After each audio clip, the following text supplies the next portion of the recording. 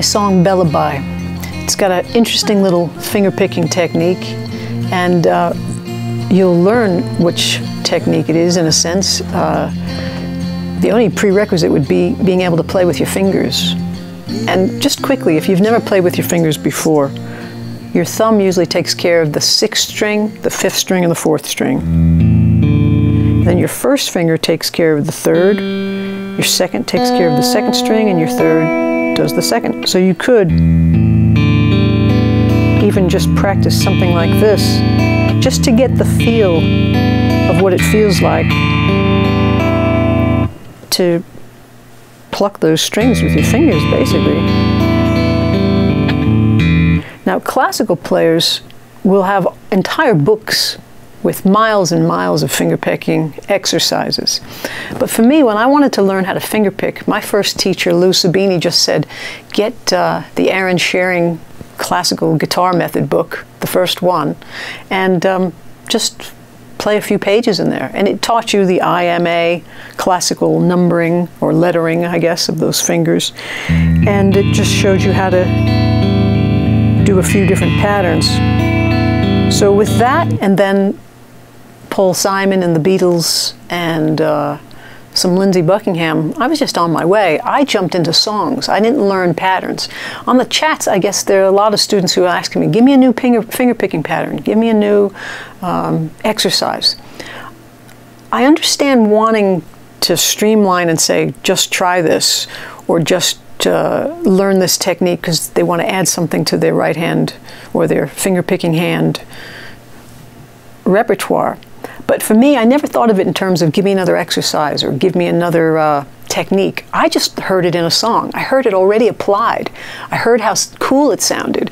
If Paul Simon was doing something different that I knew I didn't play yet, I wanted to learn that song, to, to nick that exercise, to nick that technique. So I did that with James Taylor, I did it with Paul Simon, I did it with uh, Lindsey Buckingham, and just songs that I wanted to learn. So even if it was built into a Stevie Wonder tune somewhere or someplace, if I heard something interesting, I went and grabbed what strings were changing around. Really, what you're doing here are making different arpeggios of different notes. Because as you finger the chords on this side, you're getting different notes and string combinations. So this one is very, very simple. And this is one that Paul McCartney does on a couple of his tunes, solo and in the Beatles. And you just play the outer shapes. So the outer strings of those shapes, even though on this sheet you'll see on Bellabye it's calling it a C chord, I'm not playing a big strumming C chord, I'm just playing these notes. So I'm playing my first finger on C, my third finger on E, and it's a shape that you've seen in a Beatle tune before.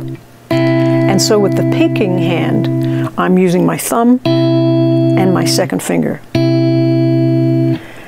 As I move that to the D, I just move that whole picture up to the fifth fret.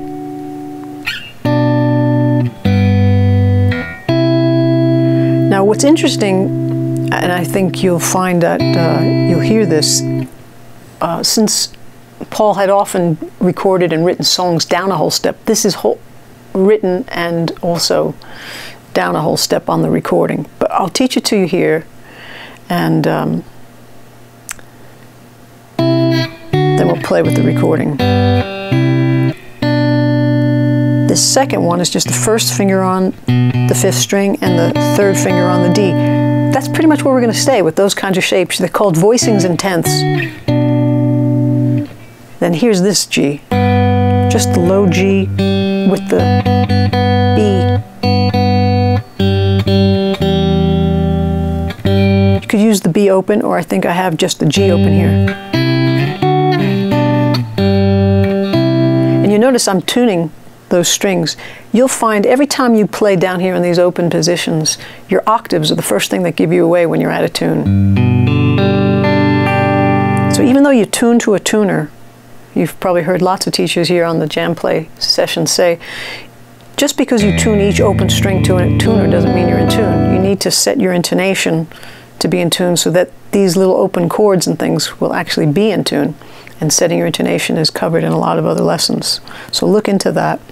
But also, once you've tuned and your intonation is set, and you go to play a chord, check your octaves.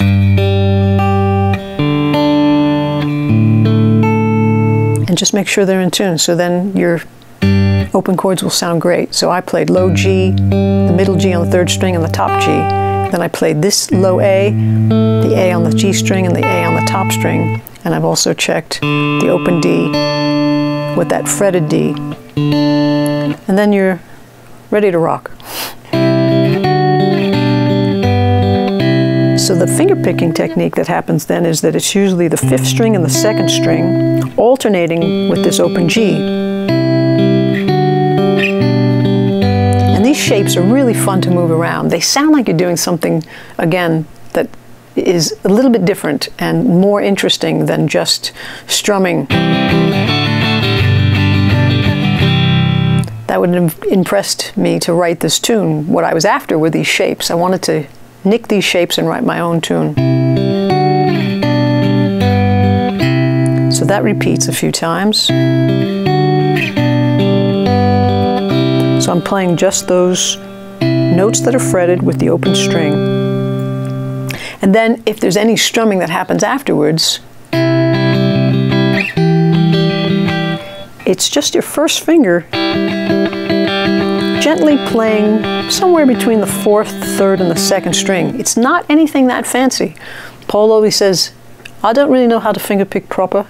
George and John knew how to fingerpick proper. I just sort of. And to get that sound, that's what you've got to do.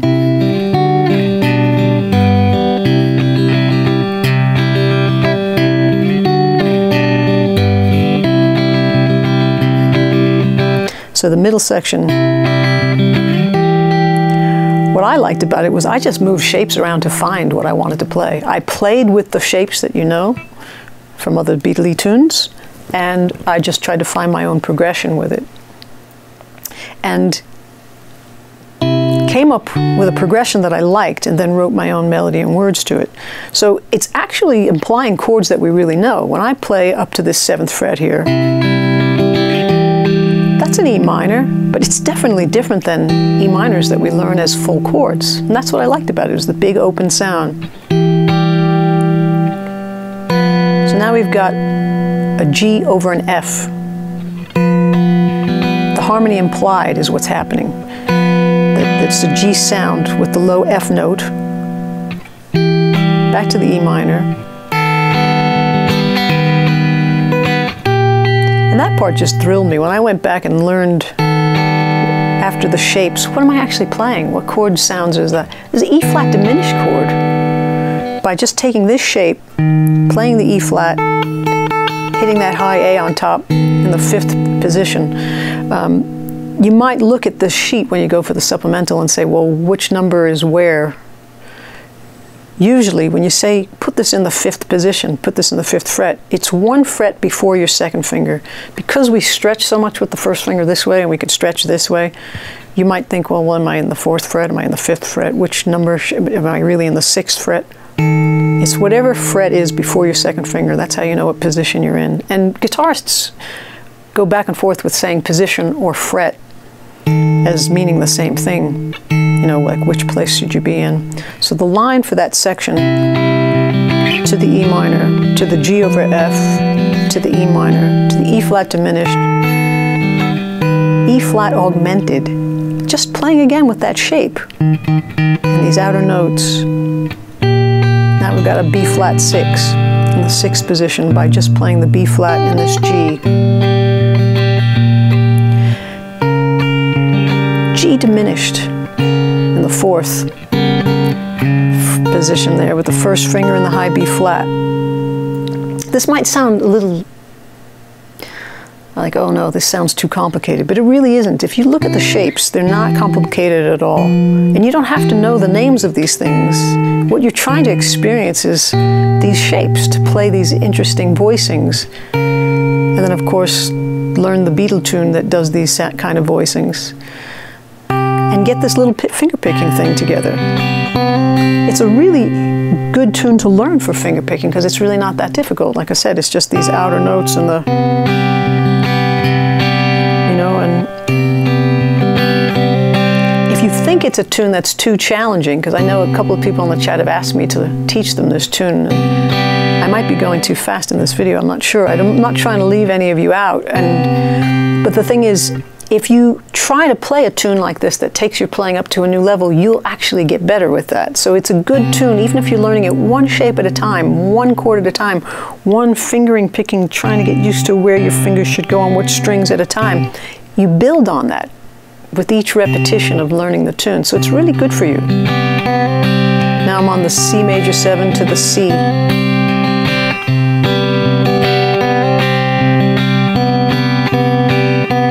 little toggling thing that just makes it sound cool in the middle of the tune. Back to the G. Oh, I'm in playing that G7 I said I don't use. Pretty cool. Sounds good there in context.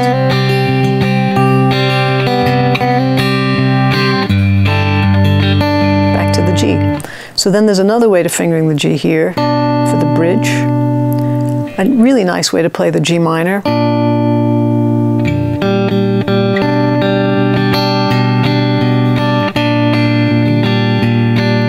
A minor.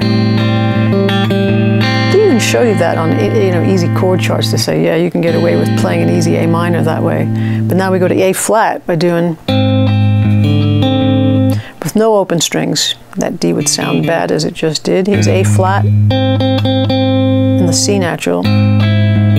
So what I like to do usually when I'm playing it is have the first finger mute the fifth and the sixth strings. You'll notice on the little chart there for the A flat, everything is X'd out except for these two notes, these two strings. It's hard to, I'm hearing it anyway, but you could even just strum the two outer strings. And if they're muted enough, you can strum it and you won't hear it. You'll just hear the percussiveness of those strings back to the G. And so those are the shapes for Bellabye.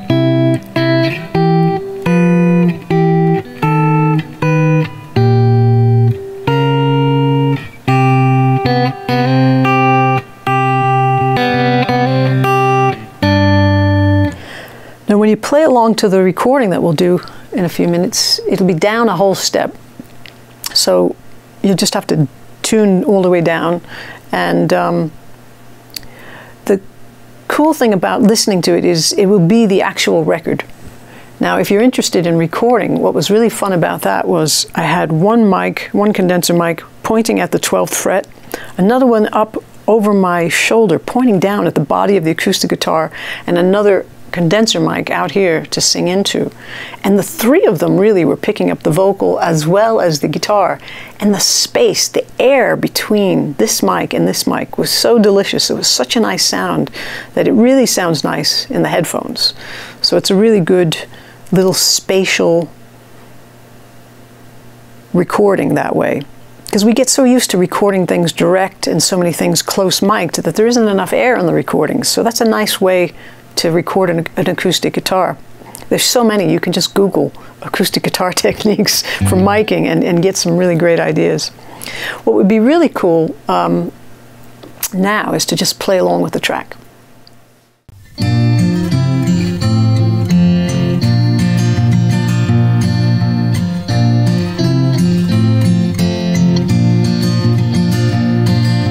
When you call my name